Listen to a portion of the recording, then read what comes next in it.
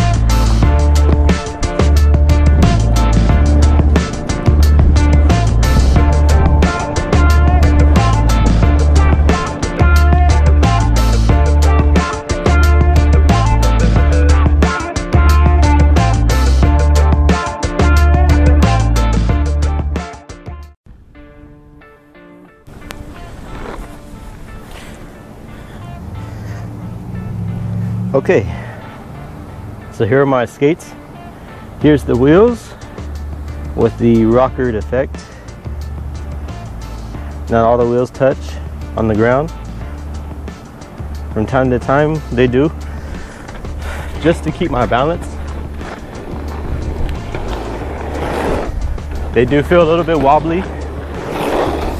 It's definitely something new to me, so hope I don't fall. Again, these wheels are supposed to be 76s in the front and back. But I put 72. I have tried 76s before. You feel a little bit of a, a rockered effect, but not too much. Now I have increased that rockered effect just to try something new, see how I like it. And the stopping can be a little scaring at first. So, at the same time, I have another new setup. My new setup would be this microphone. I got this from Fry's Electronics, and I'm going to be using it and testing it out as well. Whether or not it's going to pick up a lot of wind, I don't know. It's got a windscreen on it. I'll put it on my left shoulder for now, just to see how it sounds.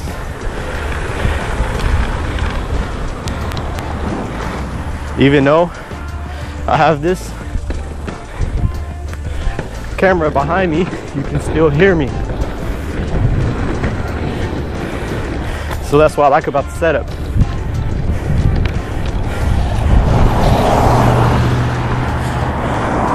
Wait for the cars to go by. I hope I don't breathe too much into the mic. I have gained a little bit of weight since I got back from the trip. Trying to work that weight off right now. One back up to 185. I want to get down to 175, 180.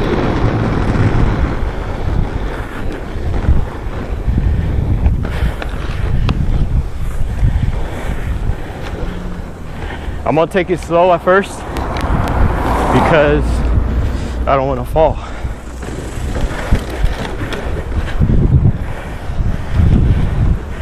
If I'm not wrong, I assume these are uh, freestyle skates, meaning you can maneuver a lot easier in them.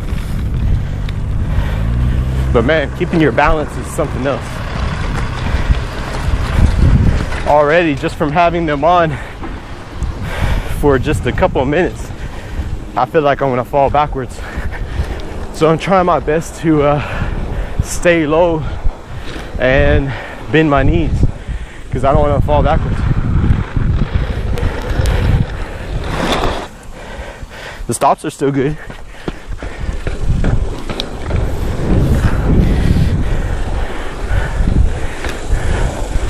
Here's how they look on the side.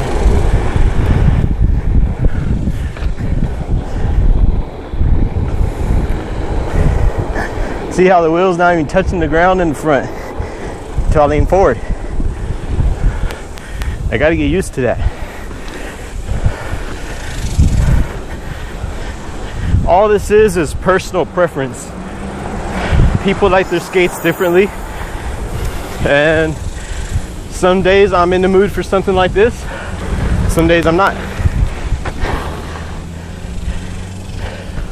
I can still stop safely, so that's the good thing about it. But my turning, man, it has improved dramatically with these. I could turn on, turn on a dime. Running through grass still feels the same.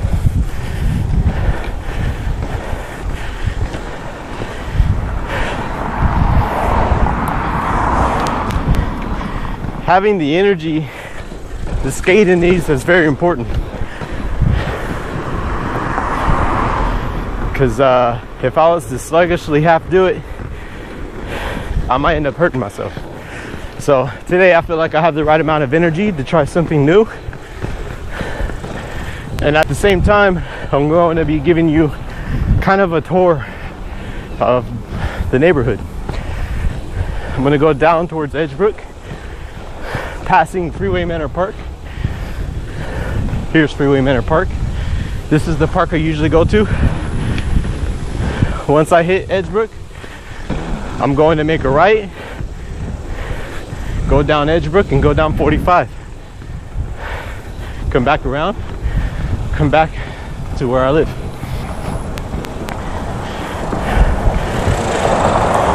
The streets over here are not the worst streets, but they're not the best either.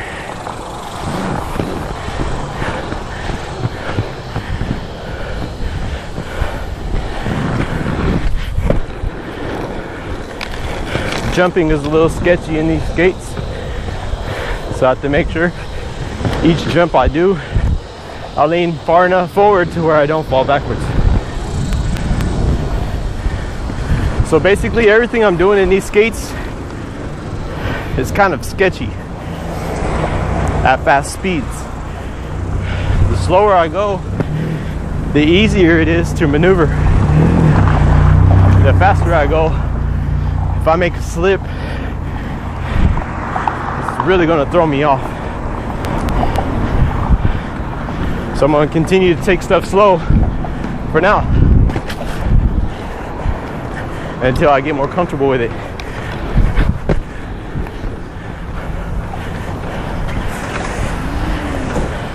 I can pretty much do a lot of the small jumps right now. a lot of mud over here. Too much mud.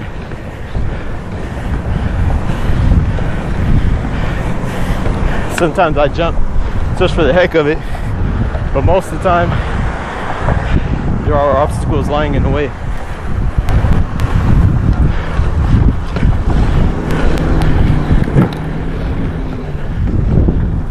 I'm already at Edgebrook right now. So here's Edgebrook. This is what it looks like straight ahead of me.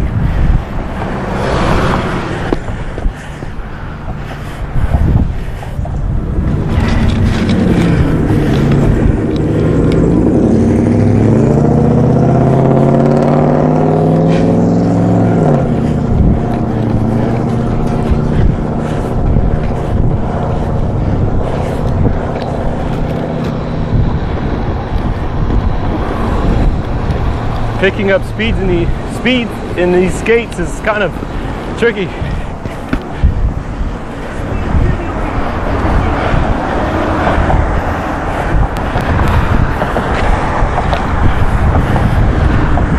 I already feel a little more strain on my back than usual.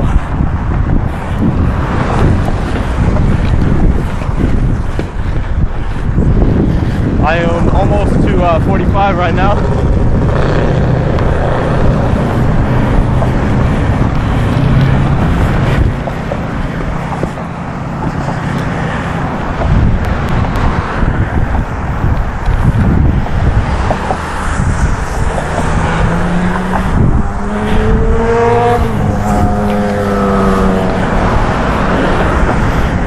These skates are definitely wearing me out. It takes more energy to stay on your two feet and keep your balance.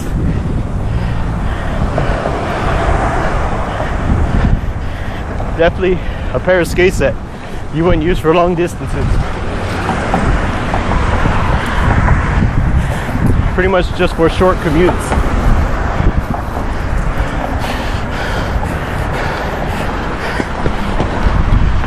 I'm always careful to look behind me when I'm crossing private driveways. If I see any cars coming, at least keep them in your peripheral, peripheral vision.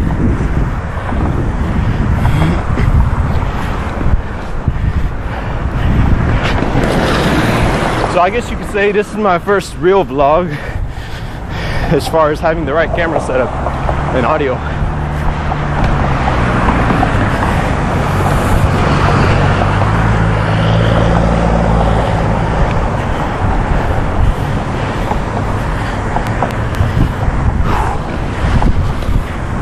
It's about 12 o'clock during the day right now. Getting around to the hottest point of the day. So definitely not an easy skate. But the humidity, humidity being about 85% here in Houston.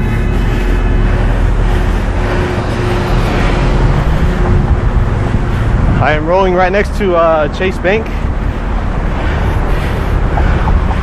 Up ahead is 45. I'm gonna cut through this parking lot. Try not to nick any cars with any rocks. Asphalt roads are good for that. They send rocks flying everywhere.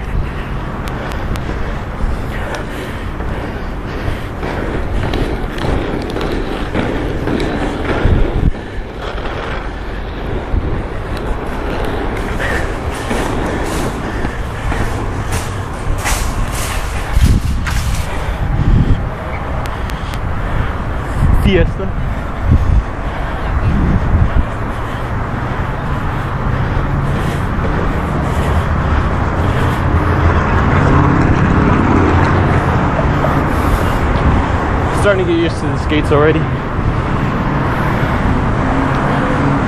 Careful before I go around the corner.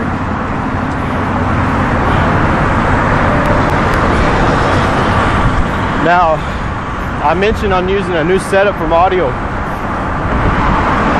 so whether or not you're going to be able to hear my voice through the traffic, after I view this video, I will know. This is 45.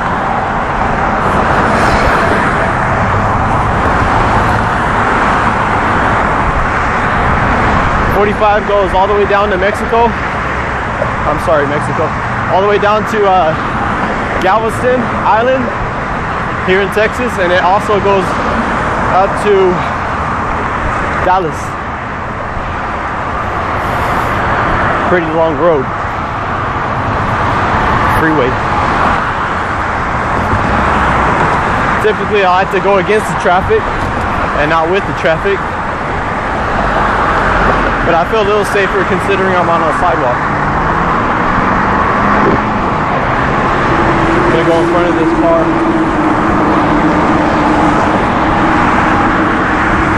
I only go in front if I have to. Most of the time I go behind. Make sure you look at the driver before you go because make sure they're paying attention.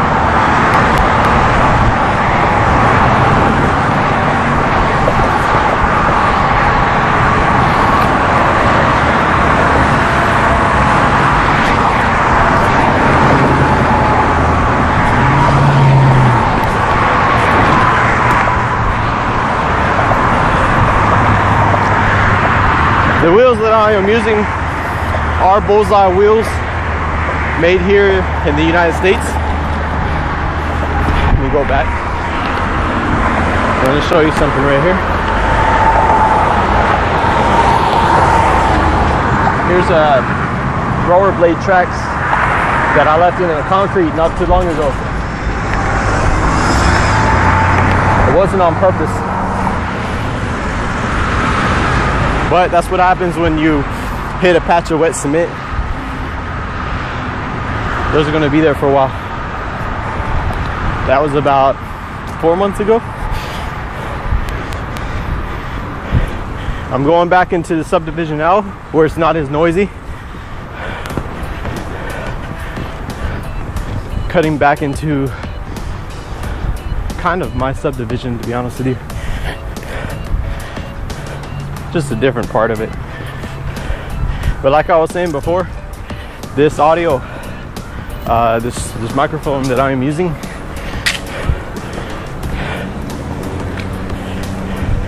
does uh, have a button here.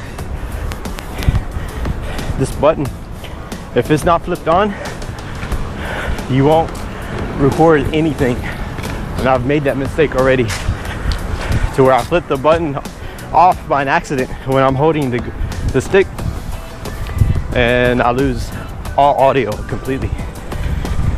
I tried this setup already with my headphones, but I didn't get no audio from it. They are a set of Bose headphones I was using. So when I found out that didn't work, I went out and bought this one from Fry's.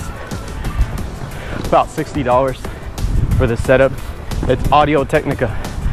Here's a dog over here. He likes to chase me. He's always here. He's here somewhere. Just waiting for me. I don't have my air horn today. But I'm trying some new skates. So I probably should have brought it. Looks like he's not around. That's good. I'll live another day.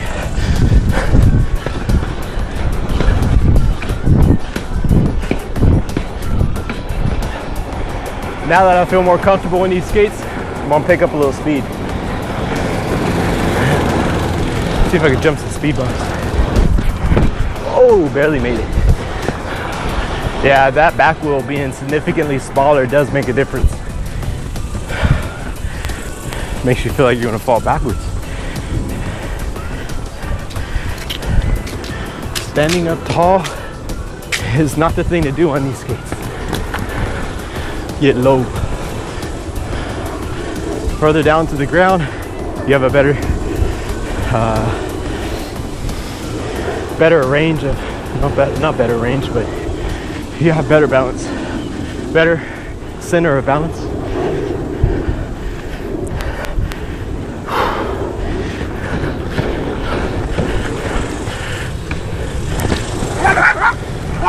There's my buddy. Good thing he's in the gate. He's always there to support me.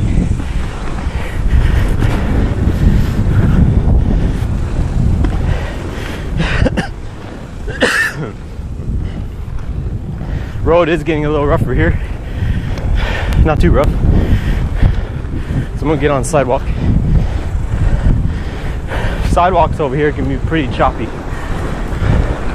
You really gotta watch yourself. Going through hay.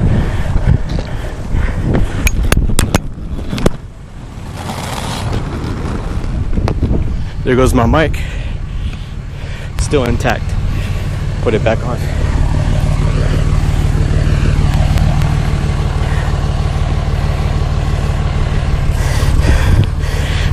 Whew. Getting pretty exhausted from this skate.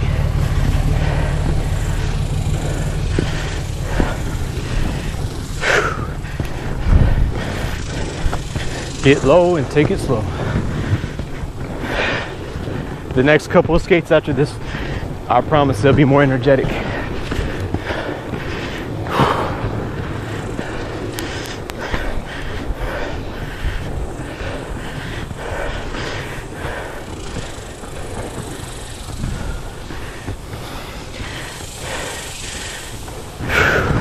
Now I am turning back into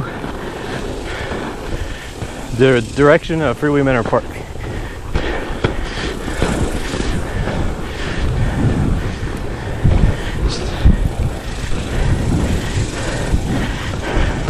This little stretch I'm going is anywhere from two to three miles all the way around before I hit the park again. I'm actually almost there.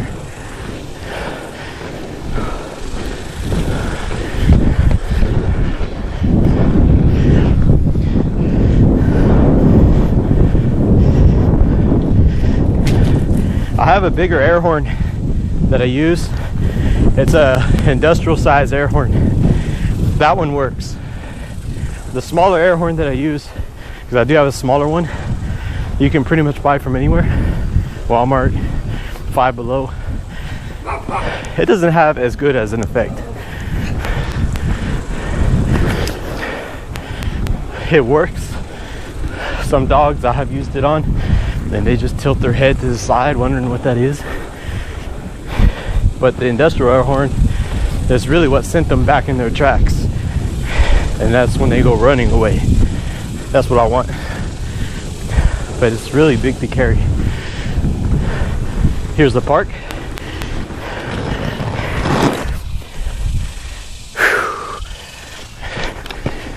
It's pretty hot today. I'm not carrying a backpack today. I'm not that far away from home. And if one of my wheels blows out on me, and they do blow out, I will still skate back home on the blown out wheel, even if I blow out three or four of them. Actually, I will continue on skating until I blow them all out, and then I will skate home because I really want to finish them off. But the the wheels that came with the skate, the Labeda wheels, they weren't very good quality wheels. Now I have some better ones on here, so they're not as bad.